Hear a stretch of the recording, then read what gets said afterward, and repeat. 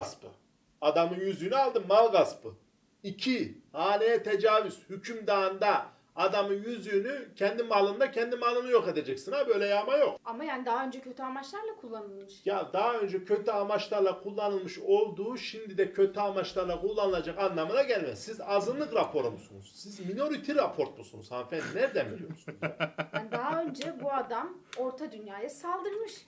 Ya bakın saldırmış dediğiniz Mordor'da güvenlik güçleriyle Orta Dünya'da birkaç çapulcu arasında olmuş bir gerginlik. Yani buraya şimdi saldırmış maldırmış diyemeyiz. Orada bir takım hikayeler anlatılıyor. Yok efendim işte kılıç kırılmış da elini kesmiş falan. Hayır öyle bir şey yok. Tamamen Sauron'un kendi iradesiyle adam demiş ki buyurun atın yüzüğü. Yok insan iradesi ben atamam güç bende bilmem ne 1500 yıldır orada ecüş bücüş yaratıklarla oradan oraya adamın malını kaçır.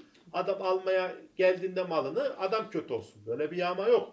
Lütfen Gandalf eğer adam olsaydı o orta dünyada beyaz sakallı orta dünya soytarısı adam olsaydı iki tane hobbitin arkasına sığınmazdı. Bu adam neredeydi ya? Ejderha konuşan ejderhadan bile korktu gitti adam ya. Böyle bir şey olabilir mi? Eğer adam olsaydı yok kartallar martallar. Kartallar lafını açınca da gülüyorlar. Kartallar ha ha çok komik. E niye o zaman götürsün kartallarla? Yok Nazgül varmış bilmem ne varmış. Nerede Nazgül hani?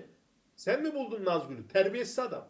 Yani siz Saruman ikinci adam mı demek istiyorsunuz? Bakın Saruman'ın ne olduğunu biz çok iyi biliriz. Saruman hakkında manipülasyonlar var. Biz itiraz dilekçemizi Anayasa Mahkemesi'ne verdik. Saruman'a ne olduğu ilk filmde yer almıyordu. Director's Cut versiyonunda Anayasa Mahkemesi'ne itirazımız sonucu eklendi. Bunlar hep Orta Dünya soytarısının, Orta Dünya'da sakallı soytarının